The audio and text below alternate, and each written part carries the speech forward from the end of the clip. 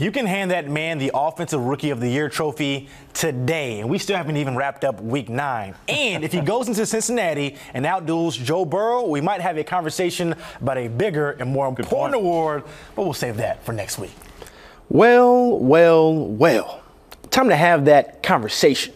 We all know MVP stands for most valuable player, and through 10 weeks of the season, CJ Stroud has embodied every part of that acronym and then some. He has a legitimate argument through 10 weeks of the season.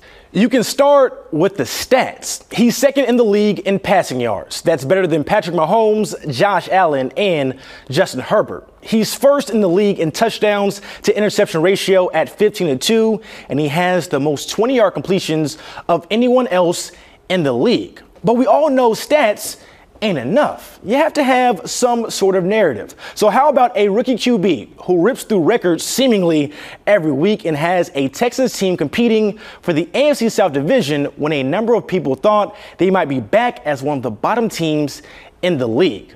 But the most important argument of it all, CJ Stroud also, he has the wins. How about on the road against the divisional favorites and the Jacksonville Jaguars? At home against both the Saints and the Steelers.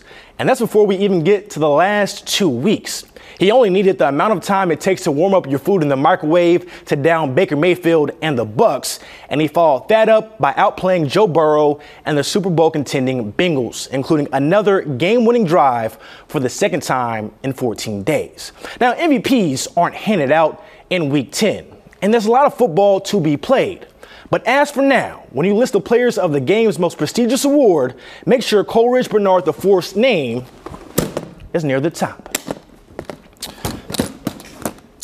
And oh yeah, he ain't the only Houston Texan who through 10 weeks could be award winning, but we'll save that conversation for another day.